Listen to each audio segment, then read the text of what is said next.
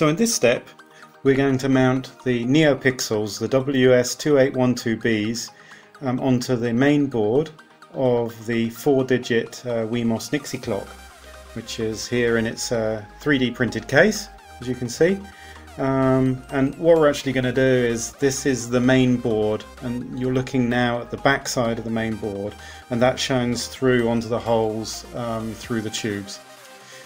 So some people are worried uh, about the concept of um, surface mount soldering.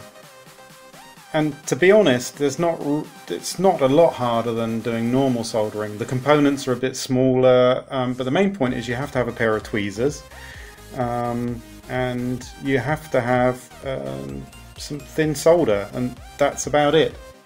So I'm using 0.6 millimeter solder here, but nothing other than that is very special. So the way I do it is first of all um, um, I put the components into place by soldering or putting a blob of solder onto one of the pads of each of the components first of all. So I'm going to do that now. I'm just going to run down the, um, the decoupling capacitor places and I'm going to put a blob of solder on them. So there we go, one blob. You see on the other pad I'm actually leaving um, it, it clear so, and now for the NeoPixels, again, just putting a blob of solder on one pad. Um, now what we're going to do is uh, we're going to take the components and we're going to heat the pad with the solder on it and slide the component into place. So it has to be flat to the board and we're heating just the, reflowing the solder there and that was it that's all there is to it. And we're going to do the second one and again the same thing. Component in place with the tweezers and reflow the solder so it sticks into place. It's nothing to really be worried about. It's just a technique like anything else. Now the capacitors I'm using here are actually um, a bit smaller than they should be. They're 805s um, the ones you'll probably get are going to be 1206s um, but the principle is the same and now all we do is we run down the other side of the components and uh, solder the other pad into place. And that was it.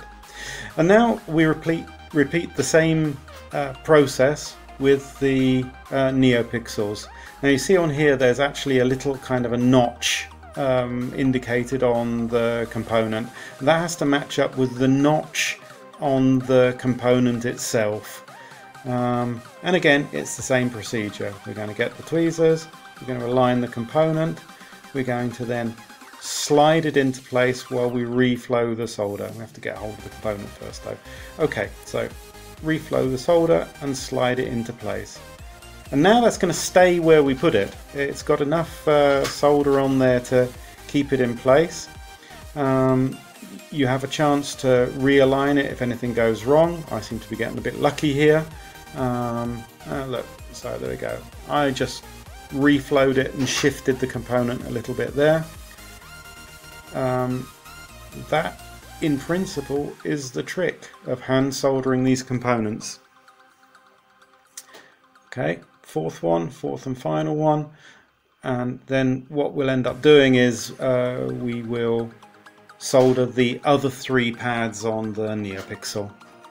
Okay, so just with the solder as normal, what we're going to do is heat the pad and apply the solder and it will wick up underneath the, the component. You have to be a bit careful not to uh, fill up any of the other holes um, because they're a pain in the butt to, uh, to, to, to free up again.